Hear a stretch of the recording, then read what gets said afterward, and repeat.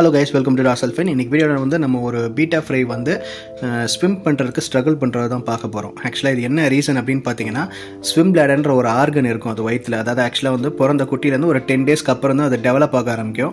So sometimes வந்து அந்த organ வந்து சரியாக டெவலப் ஆகலை அப்படின்ற பட்சத்தில் இந்த மாதிரி ஒரு ஸ்விம் பண்ணும்போது என்னென்னா சரியாக பேலன்ஸ் வராது. அந்த மீனால் வந்து ஸ்டெடியாக நிற்க முடியாது.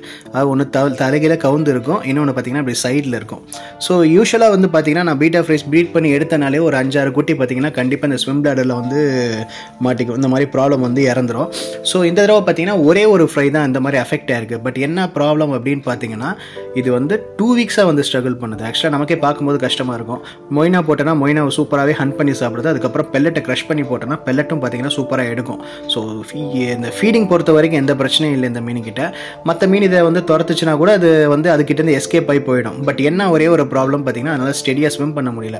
ஸோ இப்படியே அது வந்து கஷ்டம் கஷ்டப்பட்டுக்கிட்டே இருக்குது நமக்கே அதை பார்க்கறதுக்கு ஒரு மாதிரி இருக்கும்.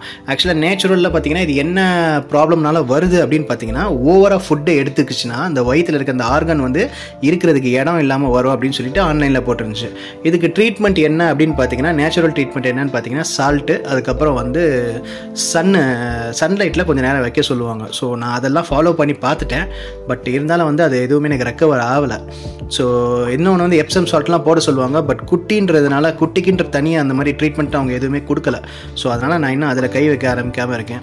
ஸோ உங்கள் யாருக்காவது இதை பற்றி இன்ஃபர்மேஷன் தெரிஞ்சு இன்கேஸ் நீங்கள் காப்பாற்றிருந்தீங்க இந்த மாதிரி ஸ்விம் பிளாடரில் அஃபெக்ட் ஆகிற குட்டிகளை காப்பாற்றிருந்தீங்கன்னா அதை கமெண்ட்டில் சொல்லுங்கள் மேபி நெக்ஸ்ட் டைம் நெக்ஸ்ட் ப்ரீடிங்கில் கூட எனக்கு செட் ஆகலாம் யூஸ் ஆகலாம். தேங்க்ஸ் வாட்சிங் கைஸ்